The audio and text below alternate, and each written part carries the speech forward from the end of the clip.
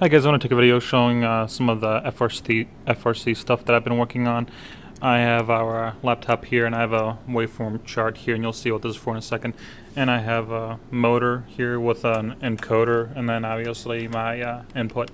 Now what I've been working on this year is a uh, PID loop that's built into the speed controllers and right now I'm doing some tests on uh, setting the speed with the left and right analog stick and then uh, having the motor go at that appropriate speed.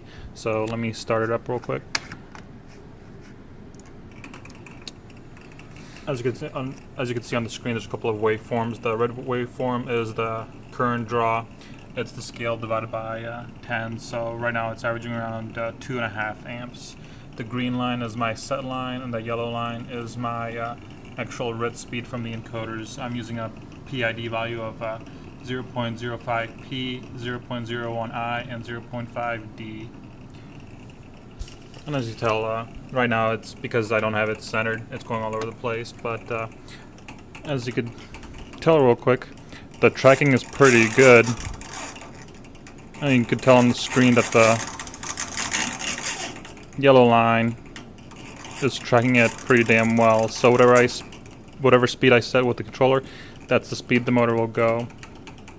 And this is just testing, I don't have a, zero threshold, that's why it's kind of oscillating.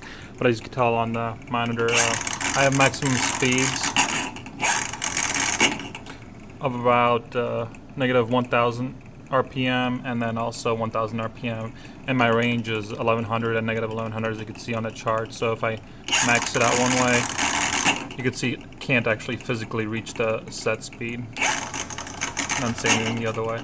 But uh, as you can see, I mean, this is all live. You can hear the motor changing speed. As I mean,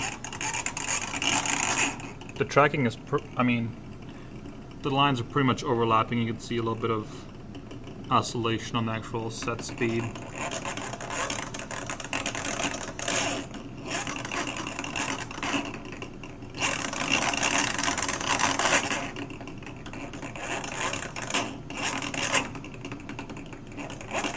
I'll give it a constant value.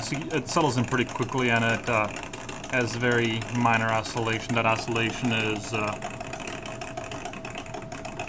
within, I would say, 20 RPM of uh, what you set it to. So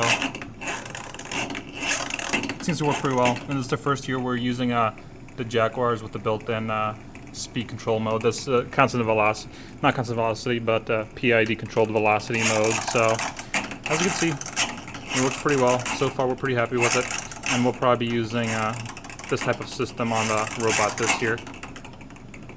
I mean, that's... I don't think you could get any better PID tracking than that. Alright, thanks for watching. See you next time.